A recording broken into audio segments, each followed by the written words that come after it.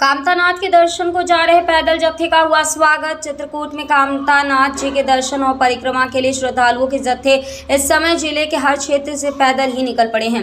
भाद्र मास की सोमवारी अमावस्या को वहाँ का कुछ अलग ही महत्व माना गया है।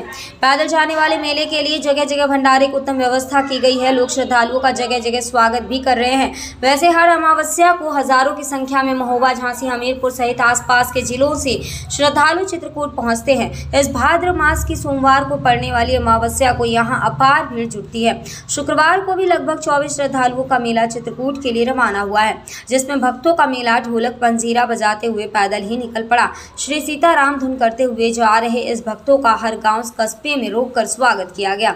श्रद्धालु श्याम बिहारी, धीरज मंगल, धर्म बल्ला, राकेश, सुरेंद्र, दीपक, राम सनेही ने बताया कि कामतानाथ के दर्शन और परिक्रमा से मनोकामनाओं की पूर्ति होती है। मेले में महिलाएँ और किशोरियाँ भी शामिल हैं। ब्यूरो चीफ महोबा से अमरीश राजपूत की खास रिपोर्ट।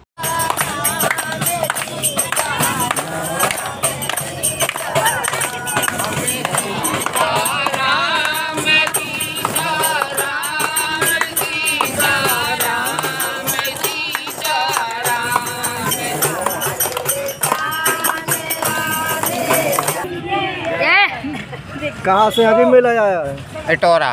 बुज़ुर्ग। कितने लोग हैं? तीस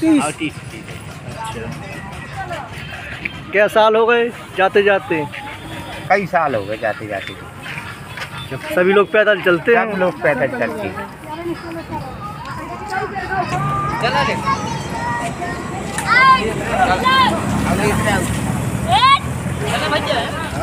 जय कांतानाथ की।